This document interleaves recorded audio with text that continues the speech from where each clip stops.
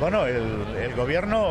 debería atender la demanda que hoy mismo he escuchado que le hacen los sindicatos de la estiva, que es que se persone como parte interesada en la mesa de negociación. El gobierno no puede estar atizando el fuego de Bruselas por un lado, agitando con la directiva o los supuestos contenidos de la directiva y de disposiciones que solo él conoce de las autoridades de, Bruselas y al mismo tiempo eh, eh, haciendo luz de gas en la mesa de negociación. No puede delegar exclusivamente en empresas y trabajadores eh, la solución de un conflicto que puede tener una repercusión muy grave para la economía española.